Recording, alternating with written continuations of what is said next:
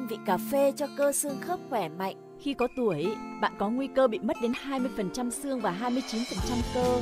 Uống Enlin ba khỏe chứa đạm, canxi, collagen, giúp cơ xương khớp chắc khỏe. Uống Enlin ba khỏe tôi khỏe hơn tuổi của tôi.